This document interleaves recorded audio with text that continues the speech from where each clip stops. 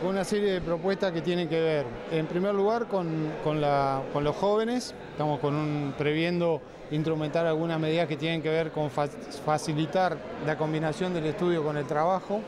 Estamos previendo algunas medidas que están relacionadas a las mujeres jefas de hogar, que eh, hemos encontrado que hay muchas dificultades en todo el país que necesitan que tengamos algunas propuestas concretas en relación a ello, eh, acceso a vivienda y otras, y otras facilidades como el acceso al empleo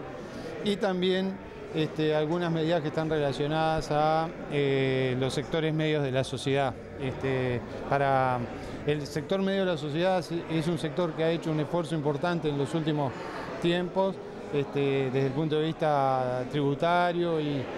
sin duda que requiere que haya mejores eh, contemplaciones hacia ese sector para que eh, podamos aliviar digamos, su carga y que podamos a su vez este, prestarle mejores servicios. Está claro que, el debate más importante es el que tenemos todos los días en, estas salidas a, todo el país con la gente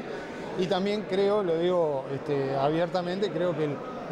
la idea del debate es una idea que está vacía y es falsa, porque si es cierto que quieren debatir los otros candidatos, ya tendríamos debates